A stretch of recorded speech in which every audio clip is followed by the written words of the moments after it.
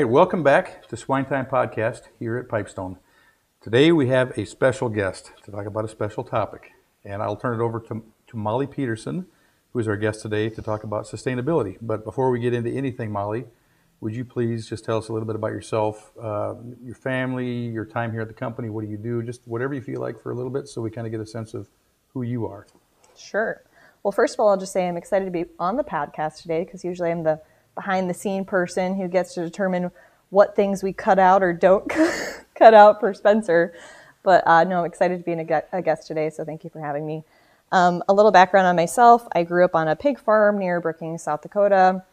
Uh, interesting educational background. I got my double major in Spanish and Asian languages and literature at the University of Minnesota. And then I got my master's in business administration at University of South Dakota was fortunate enough to start here at Pipestone right after I graduated and kind of got to try, I'd say, a variety of things in my first year here, but really enjoyed the marketing piece a lot. And so I've worked here now for seven years. Uh, really love it, serve as our marketing director, and in the last two years have become more involved on the sustainability side. Yeah, I know you as a marketing person, really, and I think you and I traveled through South Dakota at some point, going to farm one day. And I remember my first you, week. Yes, yeah. I gave you a hard time, and I felt bad about it ever since. But so I know he's a marketing person, and then all of a sudden, well, Molly's doing other things. And so for me, as an old guy now, I've watched you come and do more and more good stuff, including being our sustainability person. Do you have a title regarding that, or not, or just that's your sustainability field? manager? That is your title, sustainability manager. Okay. Yep. Excellent. Uh, and I asked about your family. You, you, do have a family. Maybe you want to give them credit while you're. I do, yeah. So um, my husband is Colby Peterson. We live in Brandon, South Dakota, and he's a social science teacher in Harrisburg. And uh, we have one daughter, Madison, who's a first grader this year. So we're doing the whole spelling quiz thing at night and reading, and it's a really fun time. Yeah, fun. Yeah. Okay, so on to sustainability. What is sustainability? If that's the dorkiest thing I could ask, I think. But I think if you just, what do we mean by that when we talk about it, just to get into it? Yeah. No, that's a great question, uh, Spencer. And I think a lot of times when we and, you know, uh, producers hear the word sustainable, it's almost like it's something against us, right? Like we think of greenwashing and, you know, tree hugging and because it's been used for such a marketing, marketing advantage. But uh, the reality is sustainability is something that farmers have cared about for generations and they've practiced, you know, just naturally to take care of their land and their natural resources so they can pass it on to the next generation. And so I think it's something that we've always done. But the other reason why pig farmers should care about it more now than ever is consumers are asking about it and retailers are asking about it. And that's because there's such a disconnect now more than there ever has been for, before between the consumer and the farmer. Most mm-hmm. consumers today have never been on a farm or have never even met a farmer. So it's really important to them that we show them sustainability reports or sustainability KPIs and show them how we are being responsible and good stewards of the land um, through different materials since they, they can't come to the farm like they used to. Yeah. And so, you know, the, the expectation is there. Do you think it's something we're going to, the farmer will get paid a premium for, or is this something that is just going to become expected and you better just be keeping up with the other farmers on delivering some evidence of sustainability? Is that is that a good question for that, or how, how would you frame it up? Yeah, I think there may be some attributional marketing as a result, but overall, I'd say it's going to become an expectation. Um, it's not going to be something that differentiates you, but something that will be expected um, that we are transparent and authentic about what we're doing on farm. I think uh, to help get us to some of our goals, whether it's reducing carbon or getting to carbon neutral, hopefully we can find some strategies that are uh, can drive profit for the pig farmers, but uh, that's sort of what Pipestone is aimed at looking into more here over the next six to 12 months. Sure.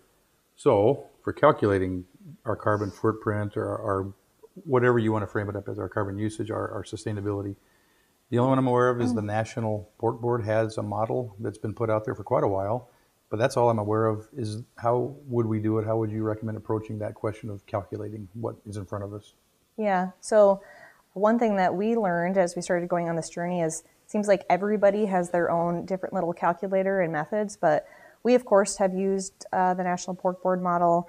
Uh, we actually started on a project with them here about a year ago to try to um, update their calculator from being model based as into more of like an actual database program. And what I mean by that is instead of them trying to model how much electricity they think we're using on farm or how much water they think we're using on farm, that we can just provide them that actual data instead to have Yeah. it be a more relevant, accurate calculator.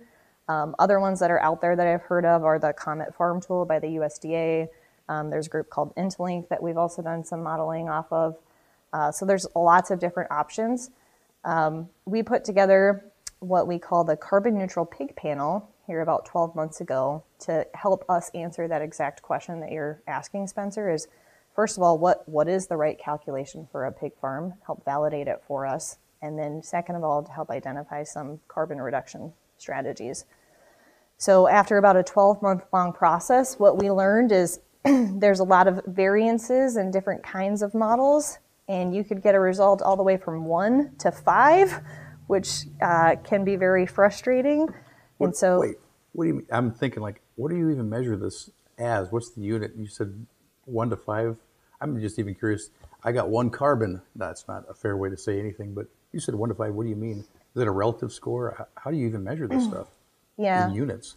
Yep. No, thank you for uh, clarifying that. So, how we look at it is pounds of CO2 per pound of live weight. Everybody looks at it a little differently. It could be total pounds of CO2, or they could look at it in kilogram, but pounds of CO2 per pound of live weight is how we have been measuring it.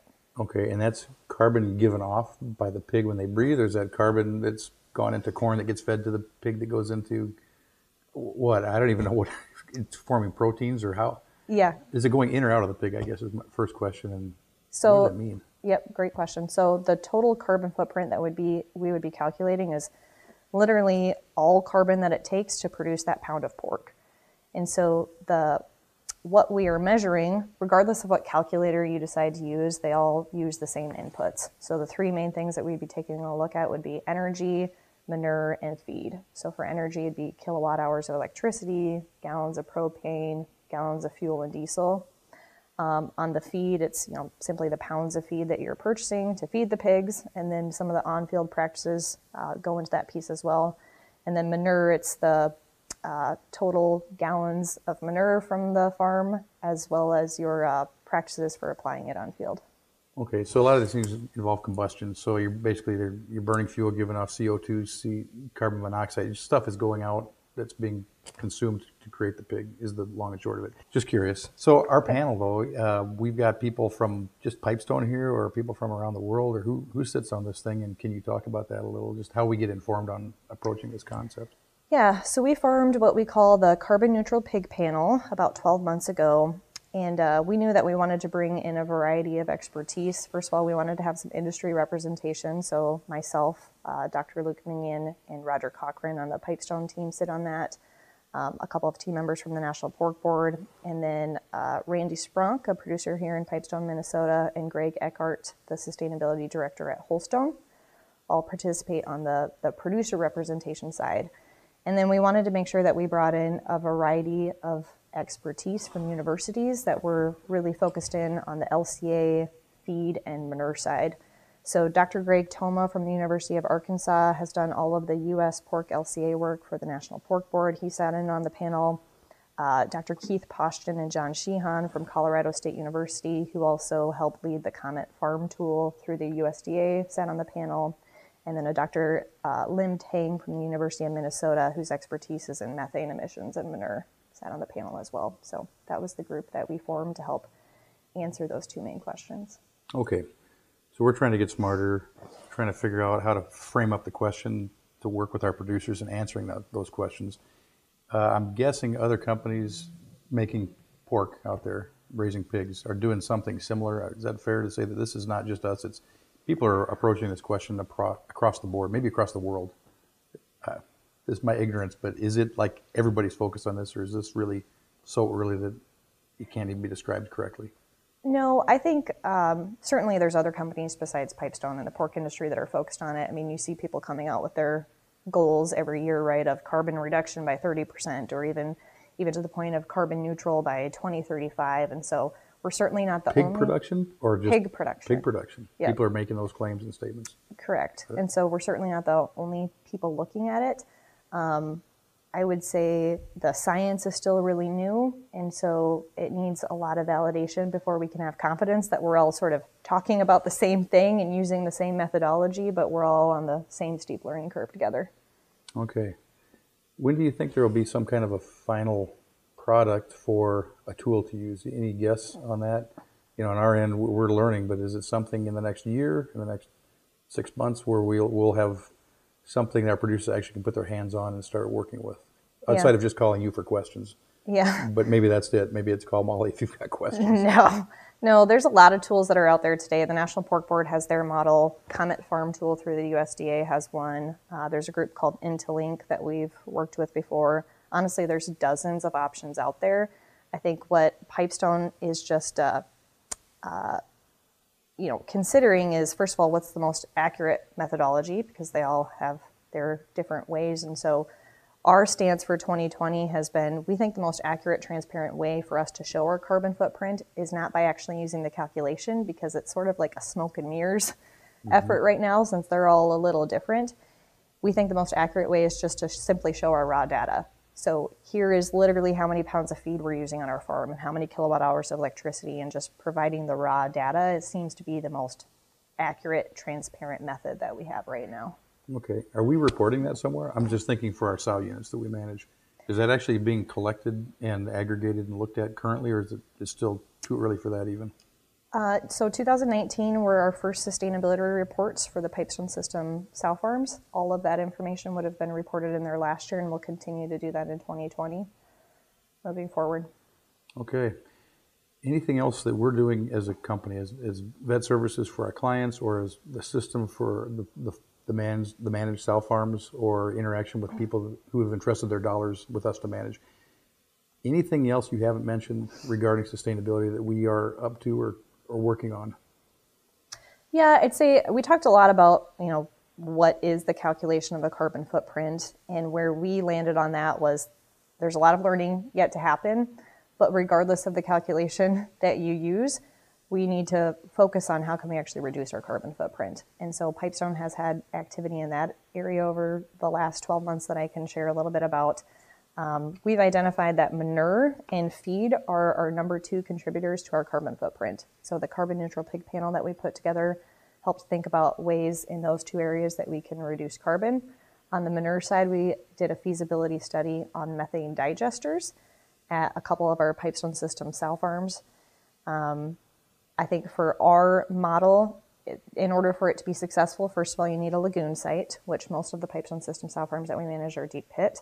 And then second of all, you need a pretty dense pig population next to each other in order for it to, you know, economically make sense. And again, we're pretty geographically spaced out. Yeah. So although I think methane digesters may be options for others, it's not an option uh, right now, anyways, for the Pipestone system model. The second area that we've uh, looked at of carbon reduction strategies is on field. So feed makes up about 40% of our carbon footprint today. So we've worked with Dr. Keith Paustian, this this Comet Farm tool that I mentioned earlier, to try to figure out well, what practices can you really change on field to make the biggest impact? And it's things like you know going from going to reduced till or no till, or implementing cover crops, or using organic fertilizer on your fields, which of course um, most of our pig farmers would do that today. And, and when you implement those, we could see a 10% all the way to a 40% reduction on the feed portion of your footprint. So we have a lot more learning to do in that space, um, but I think there's a lot of opportunity there for for the producers we're working with. Sure. So for our producers today, to reduce their carbon footprint, if they were thinking, I just want to start pursuing that, feed manure. Probably can't put a methane digester at most sites, um, but on the feed side, if they make their own feed, or if they, I guess, if they supply their own corn, they at least could potentially verify that yeah, I'm doing no-till, strip-till, something that's a lower impact farming method, and start documenting that for themselves. Is that a fair way to say it, or how, how would they even begin to answer those questions you just laid out of the, the, the feed or the manure? Yep. So exactly to your point, um, when you go to calculate your carbon footprint, you can be as general as here's how much feed I use, and it just applies general practices. Or if you know where you're sourcing your feed from, you can go in and input very specific practices like the ones that I just mentioned.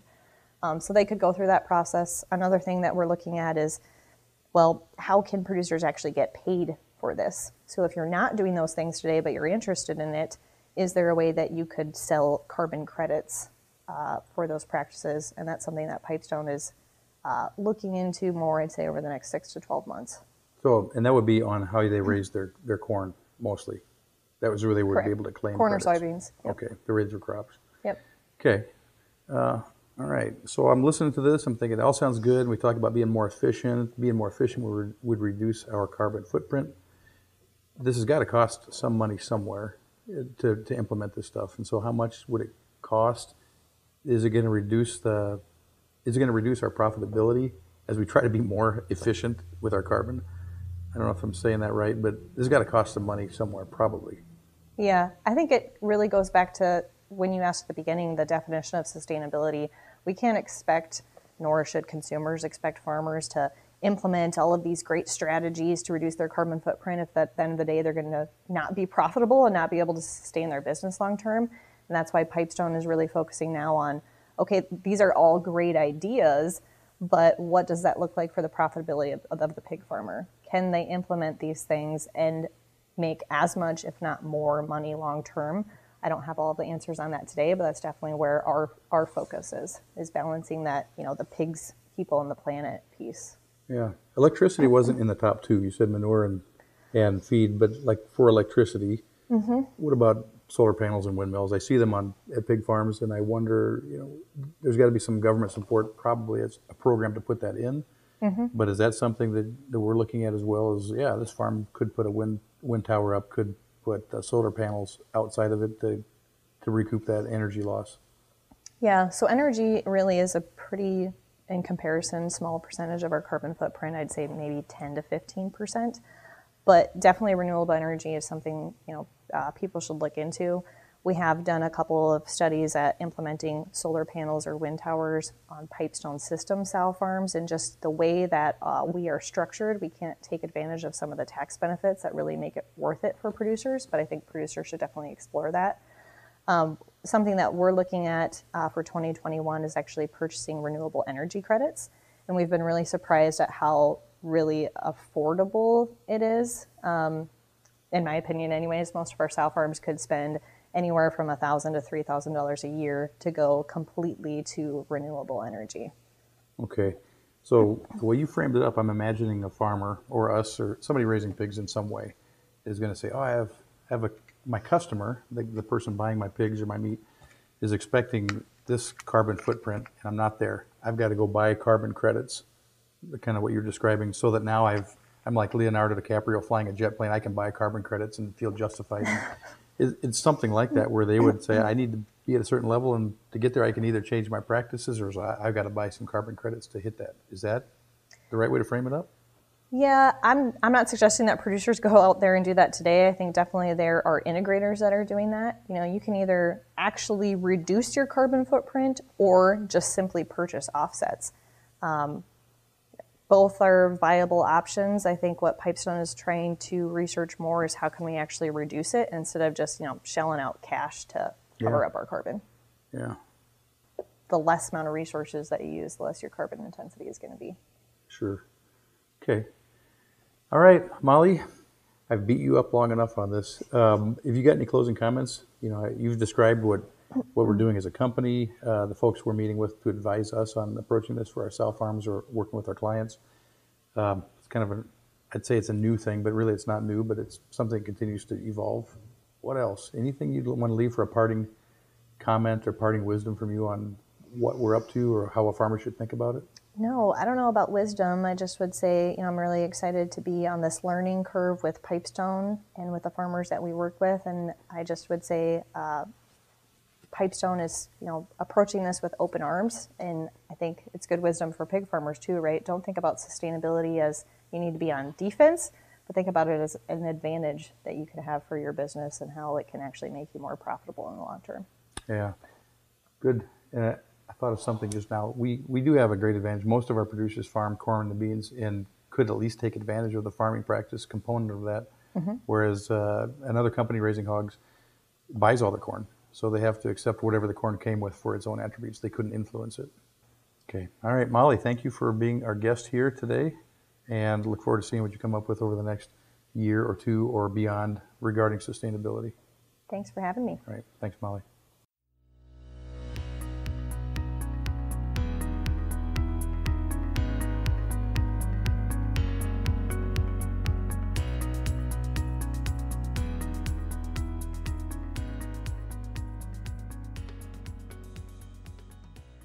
Swine Time Podcast was created for the pork industry and individual pork producers around the country. Hosted by Dr. Spencer Wayne with the Pipestone Veterinary Services, the podcast contains pork industry news, advancements in animal care, and how to enhance your productivity. Monthly podcasts are available on Spotify, Google Music, iTunes, Anchor, and on www.pipestone.com.